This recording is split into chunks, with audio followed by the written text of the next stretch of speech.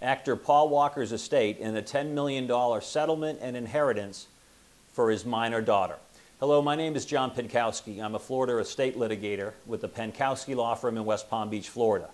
We handle trials, disputes, and appeals of wills, trusts, estates, guardianships, as well as commercial and business litigation. I'm going to be speaking to you today about a settlement, a $10 million settlement, in favor of the minor child of actor Paul Walker. You might remember that Paul Walker passed away in a car accident in 2013, being in a car wreck. He had a minor daughter, and there was evidently a wrongful death case that was filed. Today's May 2nd, 2016, and media reports suggest that a $10 million settlement occurred in favor of his daughter, his minor daughter.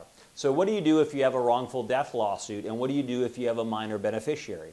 Well, Florida probate litigators and Florida probate lawyers know that Florida has its own wrongful death statute that you must comply with. Typically, if you're suing someone, you sue someone on behalf of the estate, and you bring the lawsuit in the name of the personal representative or executor of the estate.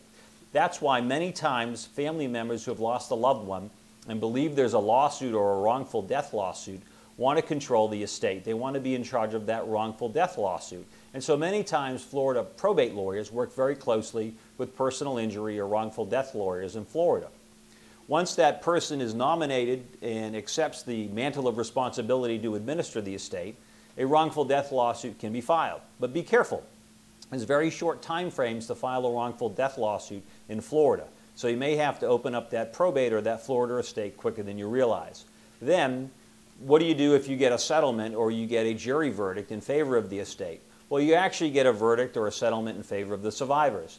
And that's typically determined by Florida statute under the supervision of a probate court or the trial court that handled the wrongful death lawsuit. If your family is involved in a probate and you have causes of action for a deceased person, and there may be a chance of a wrongful death lawsuit, consider, consider hiring a probate lawyer who can advise you on how to choose a wrongful death attorney, how to choose a personal injury law firm that has experience with wrongful deaths in Florida. There could be millions of dollars on the line, and you'll want to know what firm you can hire and what firm may be best for you.